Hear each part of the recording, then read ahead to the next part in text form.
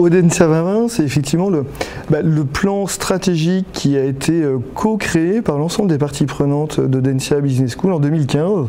Alors 2015, c'était une année un peu chargée pour nous parce que à la fois on a construit ce plan stratégique à, Horizon 2020, mais en même temps, c'était l'année où on a renouvelé l'ensemble de nos accréditations internationales.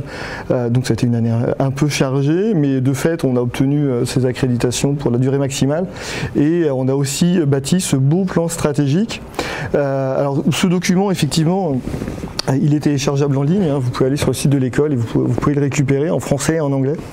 Euh, vous y découvrirez euh, bah, cinq axes de développement euh, principaux, stratégiques par définition, et qui est le fruit finalement, encore une fois, d'une consultation des étudiants, du personnel de Dentia, des alumni, mais aussi des entreprises, donc vraiment les différentes parties prenantes. cinq axes ont été identifiés. le premier, c'est de passer de l'internationalisation de nos activités à la globalisation. Alors le vocable a du sens, hein. c'est-à-dire que international, on l'est depuis très longtemps, depuis au moins les années 70.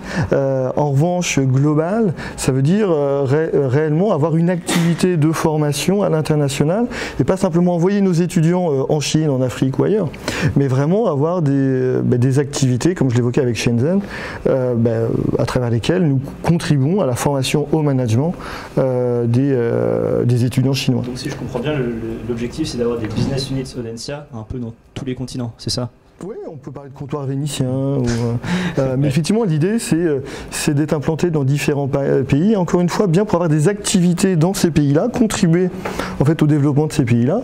Alors si, bien évidemment, comme le cas de Shenzhen, on peut en profiter parce que ça a du sens pour les étudiants de la grande école, pour créer des semestres de spécialisation là-bas, on ne va pas s'en priver.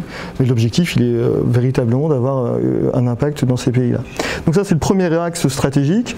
Le deuxième, c'est une stratégie d'innovation ouverte, euh, avec, euh, bah, qui traduit bien d'ailleurs Audencia hein.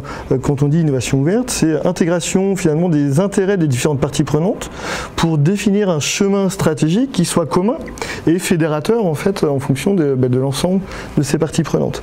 Euh, donc 2020, bah, le plan stratégique c'est un bon exemple, mais également la consultation sur, sur les travaux, sur les nouveaux campus, sur l'extension et donc finalement sur la dynamique qui est la nôtre euh, bah, traduit également cette idée d'innovation ouverte. On va consulter les différentes parties prenantes sur des sujets quand même précis, hein, bien évidemment, de manière à définir euh, un horizon stratégique qui fasse sens. Et ça, c'est un sujet important en management et en stratégie, euh, qui fasse sens en fait bah, pour le plus grand nombre. Donc ça c'est le deuxième axe. Euh, le troisième axe c'est euh, renforcer euh, bah, l'histoire qui est la nôtre en matière de différenciation et dans notre capacité à avoir défini en fait des tendances dans le monde des business schools depuis longtemps. Hein. Dans les années 70, on a été la première école en France à envoyer des étudiants à l'international. Dans les années 90, on a été l'une des premières écoles à, se positionner sur la responsabilité sociale des entreprises avant même que ça devienne à la mode.